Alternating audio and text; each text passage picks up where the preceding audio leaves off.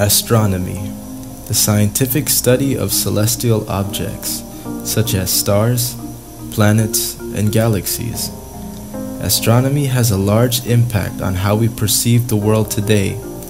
Numerous people have studied and created their own theories of how the solar system and its bodies operate. Famous astronomers such as Galileo Galilei, Johannes Kepler, Tycho Brahe, and many more contribute their intellectual ideas to the vast study of astronomy. But in this video, we will be focusing on Nicholas Copernicus and his impact in the world. Let's start with number one the Ptolemaic model or the geocentric model.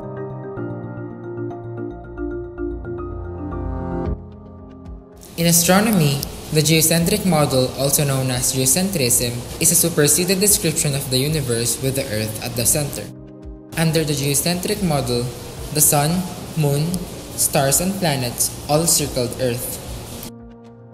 The geocentric model served as the predominant description of the cosmos in many ancient civilizations such as those of Aristotle and Ptolemy.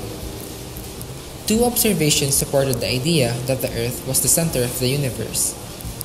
First, Sun appears to revolve around the Earth once per day, while the Moon and the planets have their own motions. They also appeared to revolve around the Earth about once per day. The stars appeared to be on celestial sphere, rotating once each day along an axis through the north and south geographic poles of the Earth. Second, the Earth does not seem to move from this perspective of an earthbound observer. It appears to be solid, stable, and unmoving. Ancient Greek and ancient Roman and medieval philosophers usually combined the geocentric model with the spherical Earth. The ancient Jewish Babylonians pictured a flat earth with a dome, shaped rigid canopy named firmament placed over, However, the ancient Greeks believed that the motions of the planets were circular and not elliptical of views. That was not challenged until neither culture until the 17th century through the synthesis of theories by Copernicus and Kepler. The astronomical predictions of Ptolemy's geocentric model were used to prepare astrological and astronomical charts for over 1500,000 years. The geocentric model held sway into the early modern age but from the late 16th century onward, it was gradually suppressed by the heliocentric model of Copernicus, Galileo, and Kepler. There was much resistance to the transition between their two theories. Christians were reluctant to reject theory that agreed with Bible passage.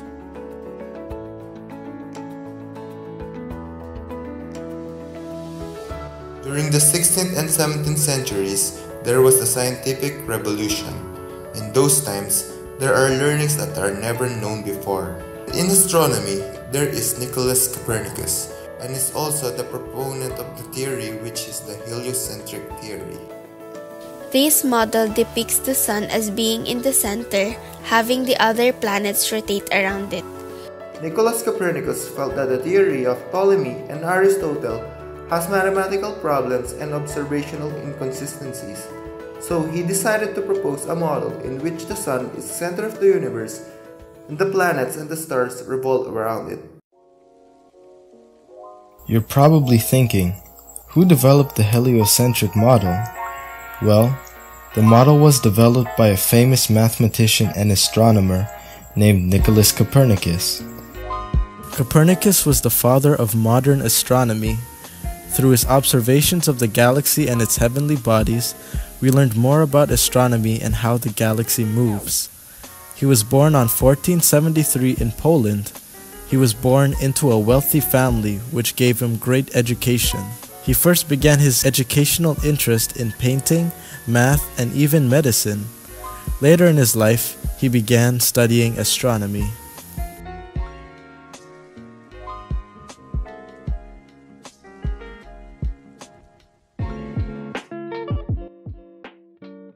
Church believed in the Ptolemaic model because it did not contradict the biblical texts. Speaking out against the model would also be speaking out against the Bible and the teachings of the church. When the manuscript of Copernicus was published, it made an impact on the views of the people. Because of the manuscript, the Copernican revolution began. Multiple famous astronomers, such as Galileo, Tycho Brahe, and Johannes Kepler, supported Copernicus' model.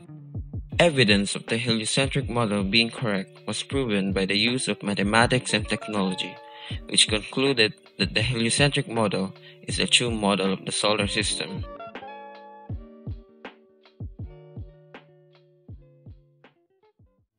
Today we are going to talk about a famous Polish astronomer who changed how people saw the universe.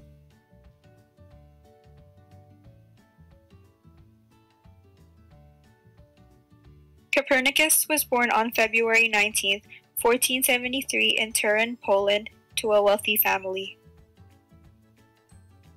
His father was Nicholas Copernicus Sr. and his mother was Barbara Watzenrode, who were both successful copper merchants. Copernicus knew how to speak German, but some scholars believe he spoke Polish as well. His mother died around 1474 and his father passed away as well when Nicholas was just 10 years old. After Nicholas's parents died, Bishop of Warmia Lucas Watzenrode took him under his protection and became his guardian. Copernicus's uncle impacted his education and future as a church canon.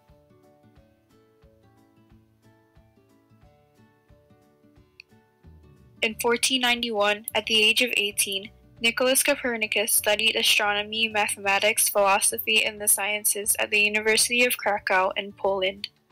He did not graduate after four years at the university in Poland, so Copernicus's uncle, Bishop Watzenrode, sent him to Bologna, Italy, to study canon law in 1496 until 1500. He was expected to study the laws and regulations of the Catholic Church and return home in Poland to become a canon. On the other hand, he spent more of his time studying astronomy and mathematics instead of canon law. His interest in astronomy grew when he was studying at Bologna, Italy. While studying at university, he lived and worked with an astronomy professor, Domenico Maria di Novara. He aided his professor with research and helped him draw observation of the heavens. At this time, Copernicus also learned Greek to read some of the original writings of some scientists. In 1501, Copernicus went back to Poland and became a canon through the influence of his uncle. He asked permission to return to Italy to study medicine and to finish his law doctorate at the University of Padua. In 1503, he obtained a doctorate in canon law. He finally came back to Poland in 1510, where he stayed in Frauenburg to take his duties as a canon. He settled there for a while from 1510 to 1543. Copernicus lived in one of the towers of the cathedral. After his church duties, he would observe and study the night sky in his room from his window.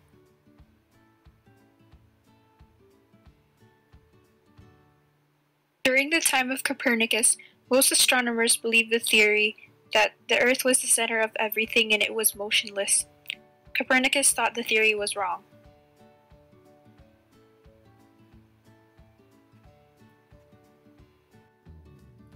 So Copernicus developed a celestial model of a heliocentric planetary system.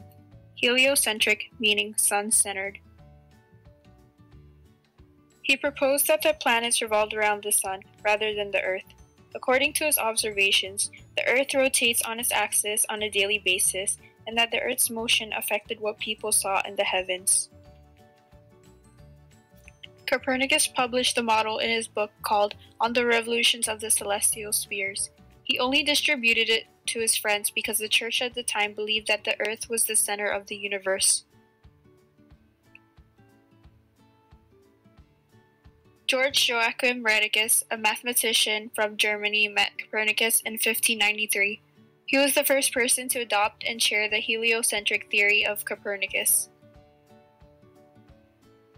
Around 1541, Copernicus's health began to decline. Rheticus urged Copernicus to publish his book. Copernicus's health got worse by the time he received his first printed copy of his work. Within hours, he died at the age of 70 on May 24, 1543. His theories made people think differently of the universe and became the foundation for scientists such as Galileo and Newton to build on and improve the understanding of the universe.